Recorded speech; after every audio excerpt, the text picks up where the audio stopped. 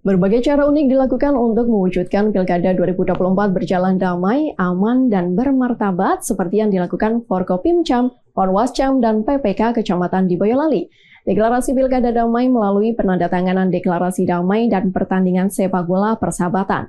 Sepak bola dipilih karena dianggap sebagai alat pemersatu bangsa. Forkopimcam Cebogo, Panwascam Cebogo, dan PPK Kecamatan Cebogo menandatangani deklarasi Pilkada Damai di lapangan Songgolangit, Desa Sumbang, Kecamatan Cebogo, Kabupaten Boyolali. Pertandingan persahabatan yang diikuti sebanyak tiga tim tersebut, yakni dari Forkopimcam yang diisi oleh pemerintah kecamatan, pemerintah desa, polsek hingga koramil.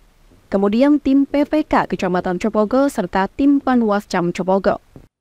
Camat Cepogo Dwi Sudarto menjelaskan kegiatan deklarasi Pilkada Damai ini merupakan upaya untuk mensinergikan antara penyelenggara Pilkada Boyolali, di antaranya PPK Kecamatan Cepogo dan Panwascam Cepogo dengan Forkopimcam termasuk sejumlah perangkat pemerintah desa yang ada di Kecamatan Cepogo.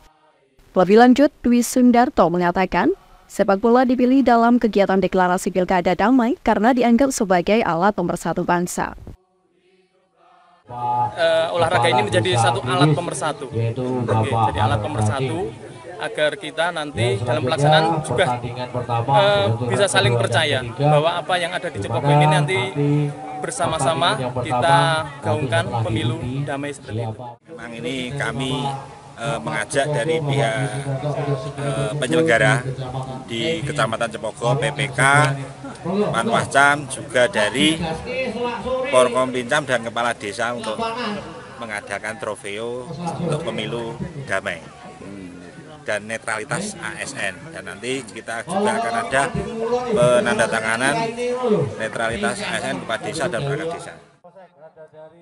Melalui deklarasi Pilkada Damai lewat pertandingan sepak bola persahabatan tersebut, diharapkan dapat mempersatukan dan mensinergikan antar instansi, baik penyelenggara Pilkada Boyolali, yakni PPK, Kecamatan Copogo, dan Panwascam Copogo, serta Forkopimcam Copogo.